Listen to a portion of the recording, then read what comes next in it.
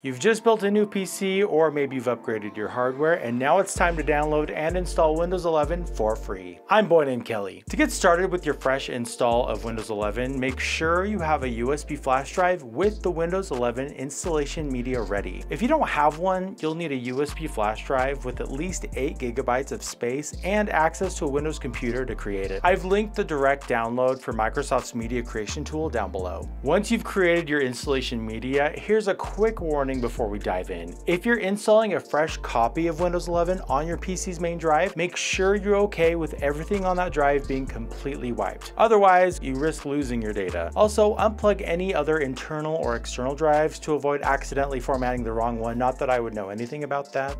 All right, let's get started. Plug in your USB flash drive with the Windows 11 installer and power on your PC. When it starts booting, press the key for your boot menu. This key varies depending on your motherboard, but it's usually usually F12, F10, or sometimes Escape. Once your PC boots from the USB flash drive, the Windows 11 setup window will appear. From there, just follow the prompts, it's pretty straightforward. Now here are a few quick tips to avoid headaches later. One, make sure your motherboard's BIOS is up to date. That can cause a lot of problems if it's not. Also, I've linked direct GPU driver downloads for both NVIDIA and AMD GPUs if you need them. And definitely make sure to run Windows updates, that way everything's up to speed. If you get stuck at any point, point, drop a comment and either I or someone else from the PC community will help out. If this video helped you, give it a thumbs up or thumbs down if it didn't, and I'll make a better one next time. Subscribe if you want more from me, and I'll see you soon.